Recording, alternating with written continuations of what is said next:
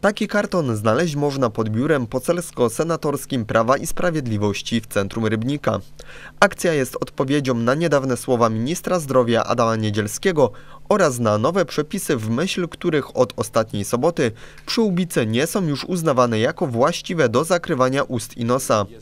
Całą sprawę komentuje senator PiS Wojciech Piecha, nasz dzisiejszy gość dnia. Widzę, że tam jest jakieś pudełko pod, pod, naszym biurem, ale czy to dotyczy nas, nie wiem, bo tam i butelki, i puszki po piwie, a, a nie żadne przyłbice tam nie leżą. Także a akcja sama nie jest dla mnie, dla mnie znana w ogóle.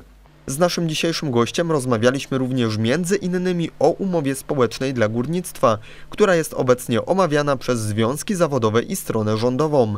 Sytuacja jest trudna, ale moim zdaniem Komisja Europejska przychyli się do rozwiązań, które uda się wypracować, mówi senator Piecha, dodając, że unijne pieniądze będą niezwykle istotne w procesie transformacji energetycznej. Bez y, dotacji do wydobywanego węgla ta branża upadnie. Nie jesteśmy jakimś wielkim graczem na rynku międzynarodowym. Jesteśmy małym producentem węgla, to jest 1% światowych, światowego wydobycia.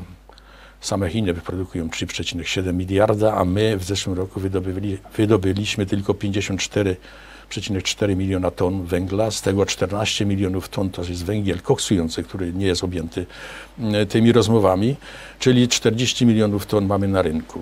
Reszta uzupełniamy importem, ale ten import nie trafia do elektrowni, nie trafia do elektrociepłowni, ale do mm, segmentu komunalno-bytowego, dla, dla odbiorców indywidualnych, bo takie węgiele są w Polsce praktycznie już niedostępne, y, czy to z PGG, czy to z tych spółek, które, y, które tym węglem energetycznym handlują.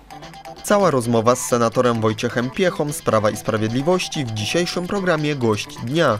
Premiera o 17.50 zaraz po raporcie.